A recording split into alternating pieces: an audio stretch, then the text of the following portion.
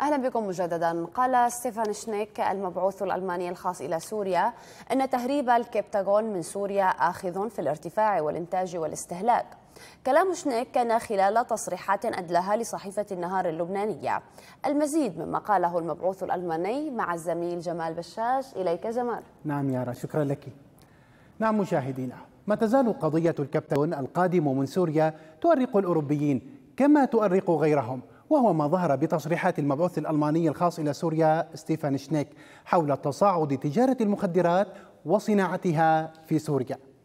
شنيك قال إن حجم تجارة المخدرات في سوريا ضخم جدا حيث يقدر وفق أرقام الحكومة الألمانية بين خمسة مليارات إلى عشرة مليارات دولار. وهذه الموارد المرتفعة التي تديرها تجارة الكبتاغون هي ما يصعب من مهمة مكافحتها. المبعوث الألماني اتهم بشكل صريح إيران بالقيام وراء هذه التجارة بمساعدة نظام الأسد. والهدف وفق شنيك هو تمويل الميليشيات والجماعات الإرهابية التابعة لهم مؤكدا أن طهران تحتاج لتجارة الكبتاغون من أجل هذا التمويل. المسؤول الألماني أكد في اتهامه لإيران بالوقوف وراء تجارة الكبتاغون بهدف زعزعة دول المنطقة والضغط على جيران سوريا. مضيفا أن هناك حاجة ملحة لإيجاد طريقة فعالة تكافح إنتاج الكبتاغون وتهريبه واستهلاكه. أخيرا تحدث شنيك بأن هناك تعاونا وثيقا بين ألمانيا والأردن والعراق خصوصا فيما يتعلق بكشف عمليات التهريب. والآن مشاهدينا عودة للزميلة يارا لاستكمال النقاش. إليك يارا. شكرا جزيلا لك جمال على هذه التفاصيل وينضم إلينا حسن الشاغل باحث في مركز الأناضول لدراسات الشرق الأوسط من إسطنبول. مرحبا بك سيد حسن. إذا هذه التصريحات للمبعوث الألماني ربما كلنا على اطلاع سابق فيها لكن ما الذي ستعنيه على المدى البعيد؟ هل سيكون هناك يعني تصرفات حازمة من دول الاتحاد الأوروبي للحد من هذا الاستهلاك والإنتاج والتصدير كما قال؟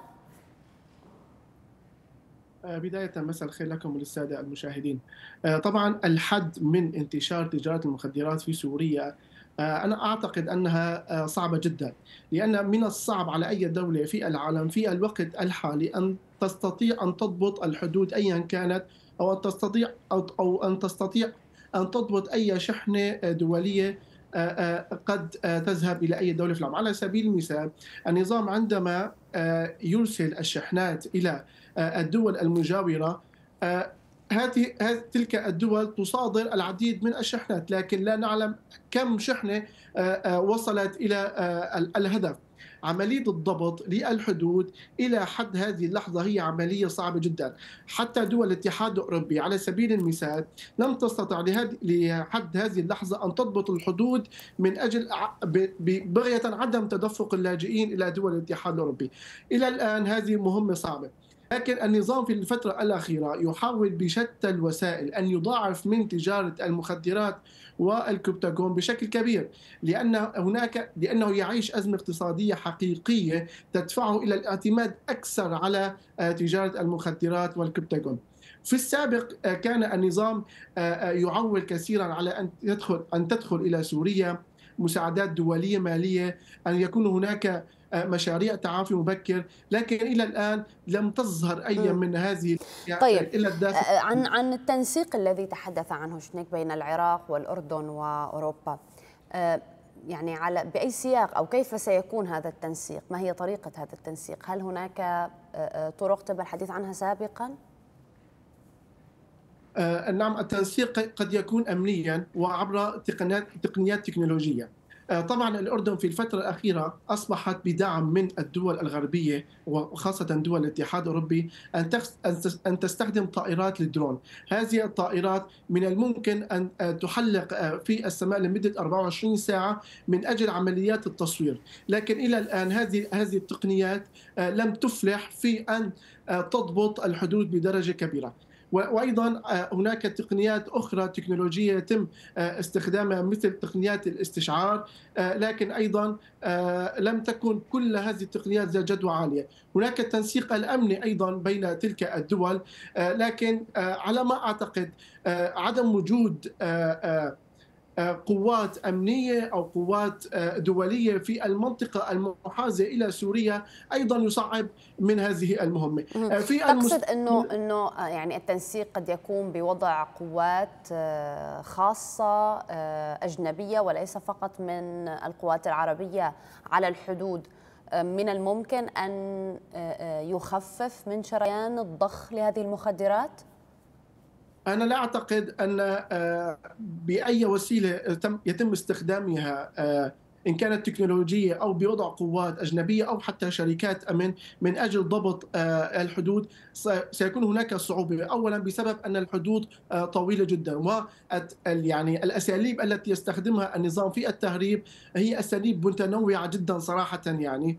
آه، فهذا هذا الموضوع والضغط الاقتصادي الذي يعيشه النظام يجعل من يعني يجعل من الصعوبة أن يكون هناك الحد من عملية تهريب المخدرات من سوريا الحل الوحيد هو الضغط على النظام الضغط على الجماعات التي آه، آه، آه، تعمل على صناعة المخدرات والتي هي تحت حماية النظام صراحة وقوات وايران وحزب الله.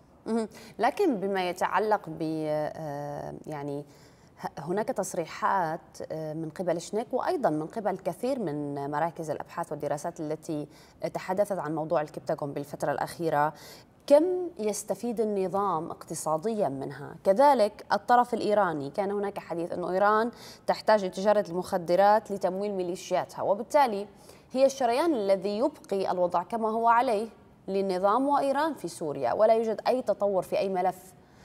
آه، هل من الممكن أن يكون هناك يعني هل أنت تقصد اليوم بكلامك أنه الأمل انفقد في هذا الاتجاه أم سيكون هناك ضغوطات دولية أكثر بما يتعلق بملف المخدرات؟ يعني حزب الله من قبل النظام آه، يقوم بتجارة المخدرات وصناعتها وإنتاجها وإلى ما هنالك ولم يستطع أحد إيقافه وبالتالي اليوم النظام يمشي على ذات الخط. في السابق حزب الله كانت تجارة المخدرات التي يمارسها هي آه، بسيطة جدا مقارنة بتجارة المخدرات التي يقوم بها النظام في الوقت الحالي. أريد أن أنوه إلى نقطة في غاية الأهمية.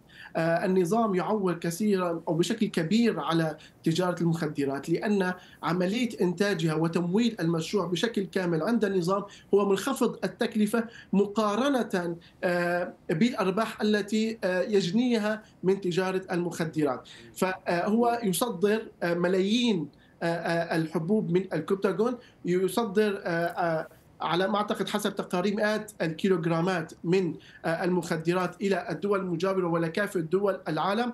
هذه الكميات المصدرة تجني يجني النظام من ورائها مليارات الدولارات.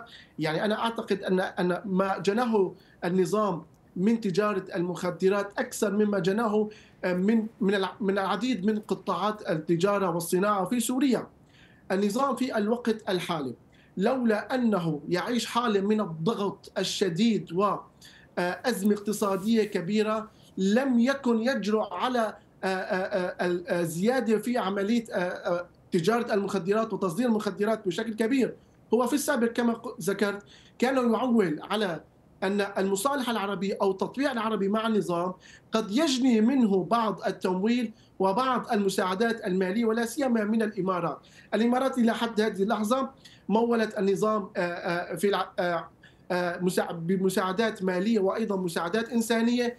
هناك بعض الدول تخاف من عقوبات أمريكية أو أن يكون هناك ردة فعل أمريكية إذا أبدت مساعدات مالية إلى النظام. كل هذه الأمور وبالأخص أن إلى الآن النظام يعيش أزمة اقتصادية شديدة لم يعد بسوريا أي شيء يمكن أن يخصصه أو أن يعطيه كاستثمار للحلفاء. من أجل أشكرك. جزيل الشكر. حسن الشاغل باحث في مركز الأناضول لدراسات الشرق الأوسط. كنت معنا من إسطنبول. شكر موصول لكم أنتم أيضا مشاهدينا. إلى هنا تنتهي محاورنا. إلى اللقاء.